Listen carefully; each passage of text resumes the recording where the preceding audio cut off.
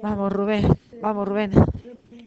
67 A- De kilómetros a hectómetros, ¿qué harías? multiplicado por 10 De kilómetros a hectómetros. Multiplicamos por 10.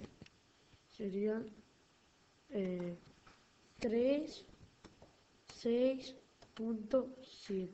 Muy bien. Ahora decámetros. Sería multiplicar por 100. Serían 3, 6, 7. Y de kilómetros a metros hay que multiplicar por 1000.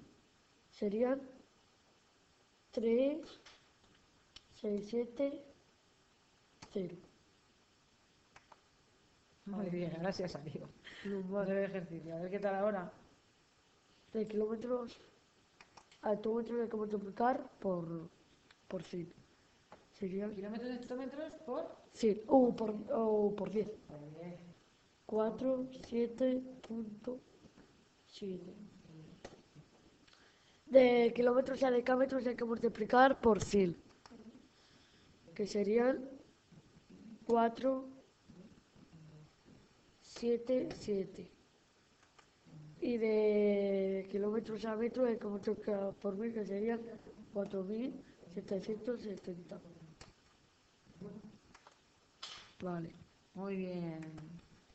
Ahora de kilómetros a hectómetros hay que multiplicar también por 10. 5, 6.7.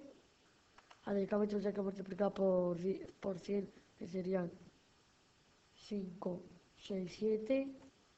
Y de kilómetros a metros hay que multiplicar, hay que multiplicar por 1000, serían 5, 6, 7, 0.